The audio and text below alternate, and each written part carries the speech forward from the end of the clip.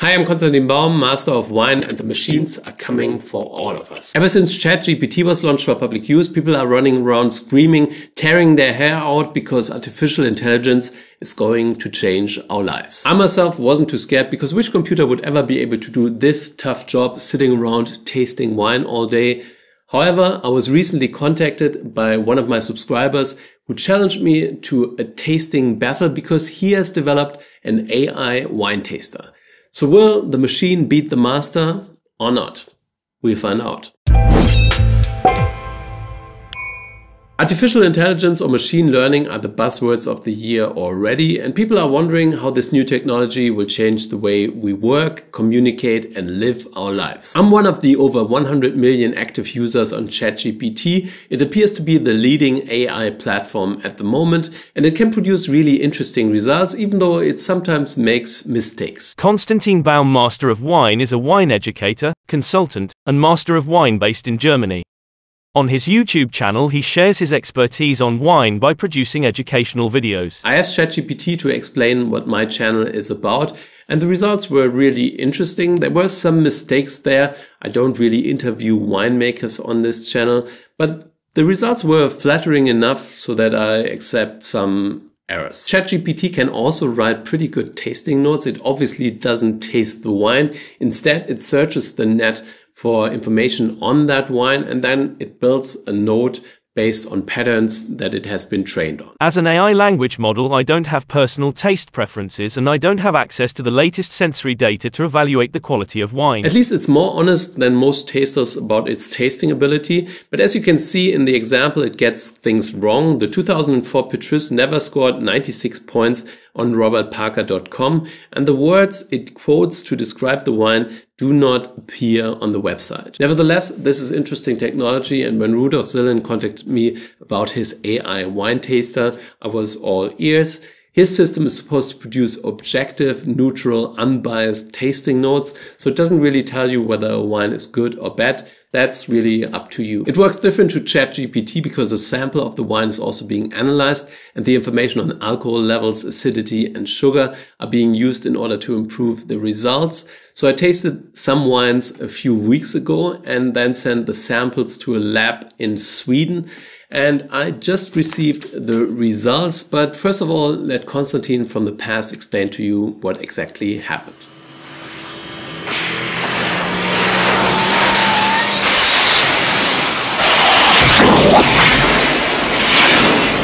This is Konstantin from the past talking to you. I've set up the blind tasting already. I don't really know whether I should do it blind, but anyways, I'm just going to do it blind. I've poured all four wines using the Coravin because I want to be able to retaste the wines when I get the results from the lab. A bottle of wine from each of these bottles will be sent to the lab for analysis and for well, creating the AI response to the wine. And I think now I'm just going to taste them. Wine one has a pale yellow color with a slight touch of green. On the nose, it's super aromatic. There's quite a lot of gooseberry, some cassis, some, yeah, passion fruit flavors coming through, which points me pretty much directly to Sauvignon Blanc. On the palate, it's actually quite rich, with good freshness but not a very pronounced acidity. I think this tastes like German Sauvignon Blanc and well, I'd be in like Rheinhessen or the Pfalz with this wine. It's quite a well-made wine. It's not extraordinary, but it's pretty good. So let's check whether I'm right. So this is wine number one. It was under screw cap, so that's why there's a Coravin capsule on top, and it is the Sauvignon Blanc from the Pfalz 2021 vintage, 12% of alcohol. Pretty good wine. Let's move on. So wine number two is quite a bit darker in color. It's a little bit more golden tinge. There are a few cork pieces floating around in the glass. I don't know how that happened through the Coravin, But yeah, it's a little bit more profound in color. On the nose, it's actually far less aromatic. So there's more notes of ripe apple, a little bit of lemon, but there's not this exotic, expressive fruit that wine one brought to the table. On the palate, it's actually quite rich and concentrated. There's a bit more alcohol there, I think. So I'd say this is probably around 13.5% of alcohol. And the acidity is not too pronounced, which kind of points me to a warmer region, not a hot region, but a, but a warmer region. For me, this smells of Weißburgunder, Pinot Blanc, Silvaner. It could also be Chardonnay, for example. But I'm more torn between Pinot Blanc and Silvaner. But on the palate, this concentration and richness is more consistent with Weißburgunder. And I'd say it's probably from a warmer area in a cool region like Germany. I actually don't think it's as good as the previous wine. I think it's a little bit, well, it's a little bit too made. There's also some banana flavor coming through. It doesn't necessarily appeal to me too much. But anyways, let's check what, what it actually is. Damn. I forgot about Grüner Veltliner. This is Grüner Veltliner which, well, I at least sometimes throw in the same bucket as Silvaner and Weißburgunder. It's not super aromatic. It can be quite concentrated. And this is exa exactly that. So there's quite a bit of concentration there. It's actually 14.5% of alcohol. So it's very rich and big. And well, for me, that's just a little bit too much. So wine three has a dark purple core. It gets a little lighter to the rim, but it's quite concentrated and rich in terms of color. On the nose, it smells of blackberries, blueberries. There's also a little bit of pepperiness coming through, little rusticity. So there's also some herbaceous notes, some flavors of black tea. On the palate, it's actually quite intense. The, the tannins are grippy, quite a lot of body there. I would say maybe 14% of alcohol. The acidity is rather low. And well, all in all, it's a pretty good wine. I would actually go straight for Syrah here. I think this combination of ripe fruit flavors and the black peppery notes coming through really remind me of the profile of Syrah. Not necessarily from France, from the Rhone, where it's where it's basically at home. I would actually go for South Africa here. It definitely has quite a lot of bite and grip. And I feel like uh, Syrahs from South Africa tend to be a little bit more structured. Let's check. All right. It is Syrah from South Africa. And I got a South African wine right. So that needs to go down in the history books. It's from Mullineux, a very famous producer in Swartland in South Africa. It's 13.5% of alcohol. And well, it's, it's, it's a pretty good wine. It actually says five on the back, but this is wine four. I still haven't found my bag number four. And this wine is actually pretty light in color. I can kind of see my hands through it. So it's a, yeah, it's a light purple color. On the nose, it smells of ripe cherries, a little bit of strawberries, and there's also some black tea component coming through. On the palate, it's actually quite juicy, refreshing, fine tannins, but they are not very pronounced. So they are more like low to medium and well, the finish is fresh and lively. For me, this smells and tastes very much of the old world. Could be Dolcetto or maybe Barbera. Barbera tends to bring quite a lot of cherry fruit flavor. Dolcetto tends to be a little bit rounder, and this has quite a bit of acidity. So I'm going, this is a Barbera, a pretty good one, but not a great one for sure. It's more well of an entry level, fresh and fruity style. The alcohol here, I would say, is also around 13 and a half and let's see what it is. Damn! It's Langhe Nebbiolo. So, well, I'm not completely wrong, but I'm also not really right. But now let's see how the machine did. Look out! So let's have a look at what the machine actually tells us about these wines. These results were not tampered with as far as I understand. So it's basically just data in and then results out by the AI wine taster. So, well, let's see what it came up with. So I'm starting off with the Sauvignon Blanc from the Pfalz.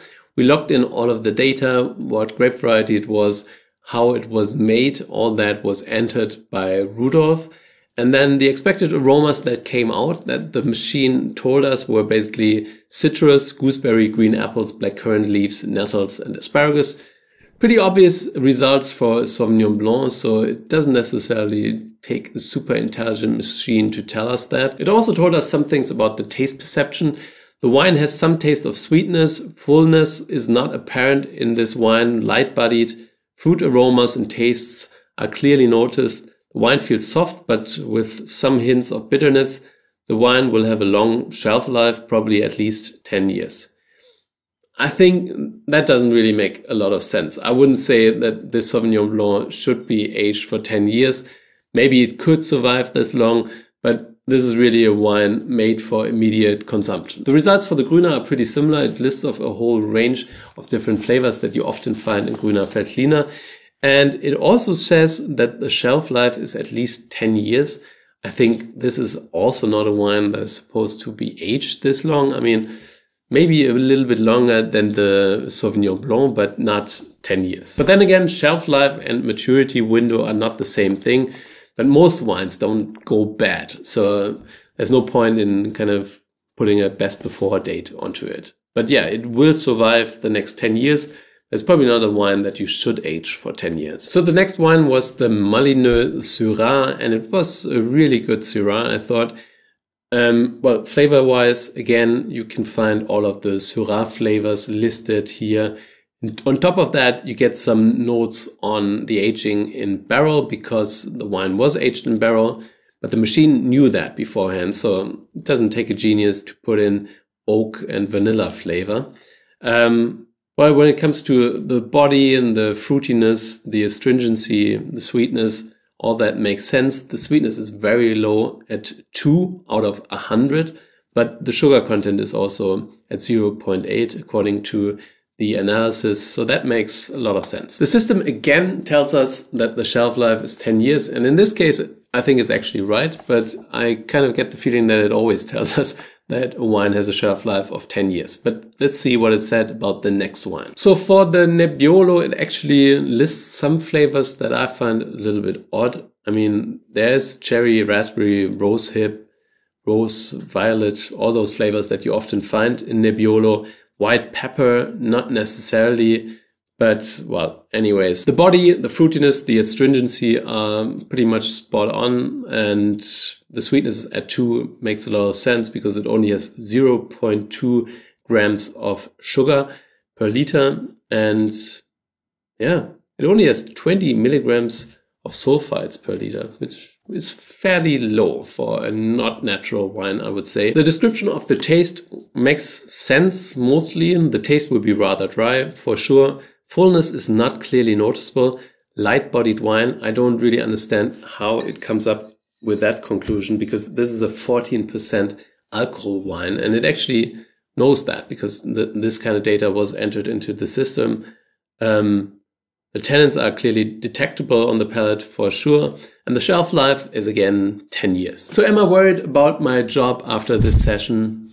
Not really. I think when people want to learn about wine, they really want to learn about wine from another person. So I don't think anyone will ever kind of think, well, I want to know what ChatGPT thinks about this wine. However, I think this could improve the quality of information that is available out there. It obviously has to be checked and edited in order to make sure that there's not wrong information in circulation. But this could, for example, work in a supermarket where they don't necessarily have a wine expert on staff, but they could gather quite a lot of information from these documents in order to train their staff to improve the quality of the information on the shelves or maybe on their websites. It could also serve as a basis of information for copywriters who write about wine. But apart from that, I don't think it serves a lot of purposes yet. It's in the name machine learning. So as the machine learns more and more, it will improve its results. So I think we're still pretty much early days. And at some point, this could be maybe something that you could just pick up and put on your website as a description of a wine. But then again, I wouldn't necessarily want that. I wouldn't necessarily like someone who sells wine to use a machine to create tasting notes, but maybe that's just me. I want to thank Rudolf for helping me putting together this video.